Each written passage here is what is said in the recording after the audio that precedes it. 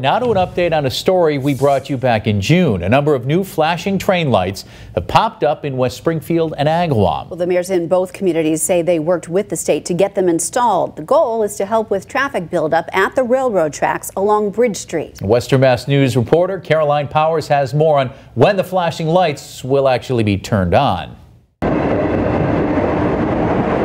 Trains traveling through the West Springfield Agawam town line has become a familiar sight to many. But Western Mass News has found the amount of time some drivers find themselves being stopped has become a familiar problem. When you have the freight train, sometimes you're there 20 minutes, half hour, 45 minutes, sometimes up to an hour while it's hooking up uh, different cars or uh, coupling up the cars.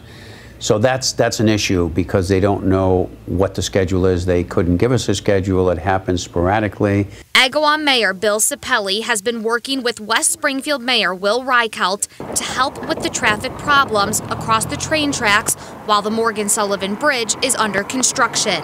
Mass DOT agreed to a nearly $317,000 project to install nine light signs at intersections in West Springfield and Agawam alerting drivers when a train is crossing to seek an alternate route. So therefore, if they're a half mile out where these different signals are located, they could decide at that point, okay, you know what, if there's a train there, I'm going to go a different route before they get all the way down there and then want to turn around. And on top of the flashing lights, Mass DOT rolled out a new live feed about a month ago for drivers to watch the train tracks on their phone or computer.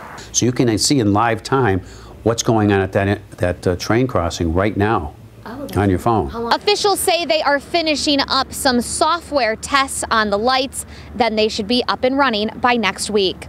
For Western Mass News, I'm Caroline Powers.